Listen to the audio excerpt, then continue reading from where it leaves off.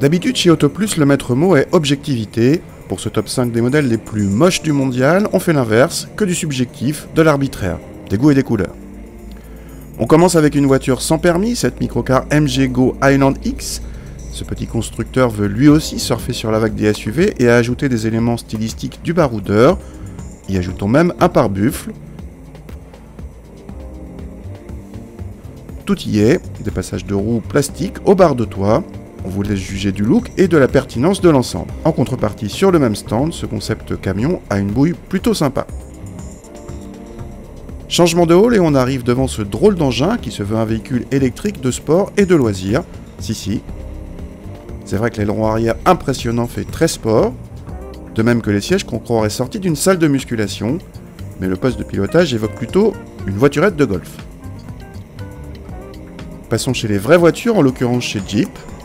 Non, on ne trouve pas qu'un Wrangler c'est moche, sauf de cette couleur. Entre jaune et vert criard, qu'on retrouve même à l'intérieur, disons que si on devait en acheter un, on ne le prendrait pas comme ça. Même punition chez Skoda avec le nouveau Kodiak, ici montré dans un jaune pétant qui ne lui va absolument pas. Skoda France nous a précisé que cette couleur ne serait pas au catalogue dans l'hexagone. Heureusement ici, pas de traces de jaune à l'intérieur. On termine chez Suzuki avec le S-Cross, pas le S-Cross normal non, plutôt consensuel sur le segment des SUV, mais le S-Cross Cruising Concept, bardé de chrome un peu partout, à commencer par la calandre un tout petit peu outrancière.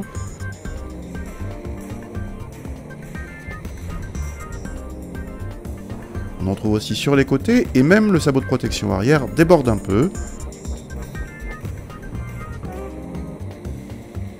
On n'oublie pas les jantes noires pour faire plus méchant, si la démarche est de nous présenter ce concept pour voir ce qu'on en pense, là, vous êtes fixé.